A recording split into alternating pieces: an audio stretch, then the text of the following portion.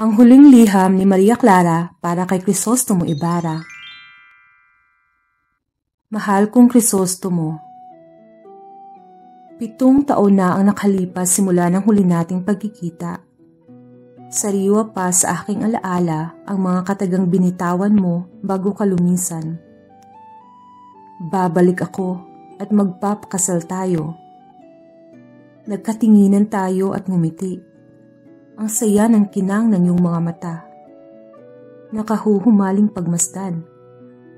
Nakakakilig sapagkat ang lalaking aking sinisintay pinangakuan akong pakakasalan. Hanggang ngayon, ako'y naghihintay. Lagi akong nagbabaka sakaling babalik ka. Kung kaya't parati akong naghihintay sa hardin na ating pinagtatagpuan. Sa mga araw at gabi kong paghihintay at pangungulila, humantong ako sa puntong pinanghinaan ako ng loob. Ang tiwalang akala ko'y hindi matitibag ay tuluyan ng gumuho. Akala ko'y sapat na ang pinagsaluhan nating sandali upang ako'y manatili. Akala ko'y sapat na ang ating mga sumpaan sa ilalim ng milyong-milyong liwanag ng mga tala. Ngunit nagkamali ako hindi pala sapat ang ginawa nating pundasyon ng ating pag-ibig. Hindi pala sapat na puro pangako lang at walang gawa.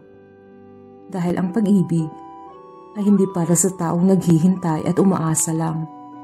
Naging mali ang ating konsepto.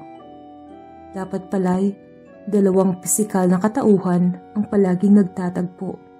Hindi mag-isa lang at naghihintay ng walang kasiguraduhan dapat pala'y tinatrabaho ang pag-ibig aking mahal. Hindi umaasa sa abstraktong bagay. Dahil kung mahal mo pala ang isang tao, kailangang may pruweba sa bawat bibitawang salita. Dapat pala'y may produkto sa bawat pangako. Kailangan palang mayroong dahilan. May sagot sa bawat katanungan sa lahat ng hakbang. Parihas tayong nagkulang ikaw sa gawa at ako naman ay sa tiwala.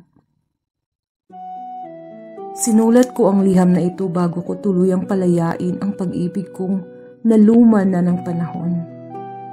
Sinulat ko ito upang ipaalala ang pagmamahal ko sa iyo na kahit sa huling sandali muli akong maghihintay. Mahal, sana ako ay iyong mapatawad Patawarin mo ako sa pagsang-ayon sa desisyon ng aking ama. Paniguradong habang binabasa mo ang liham na ito ay naglalakad na ako.